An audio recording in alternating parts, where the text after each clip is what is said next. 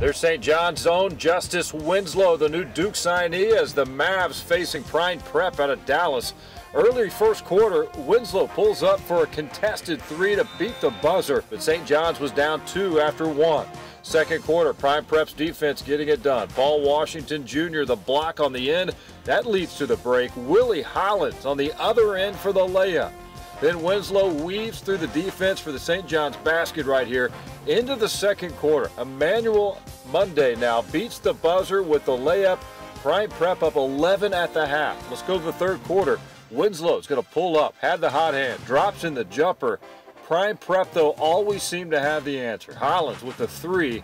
They push their lead to 10 after three quarters. Fourth quarter, Prime Prep puts it away. Davontae Bailey for two.